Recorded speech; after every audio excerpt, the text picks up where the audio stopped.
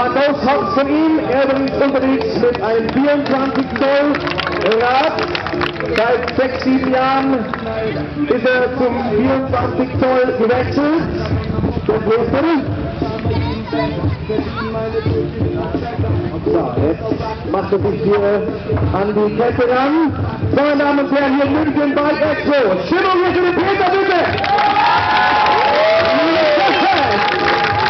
Franz Locher, seitens über die Kette drüber. Kein Problem.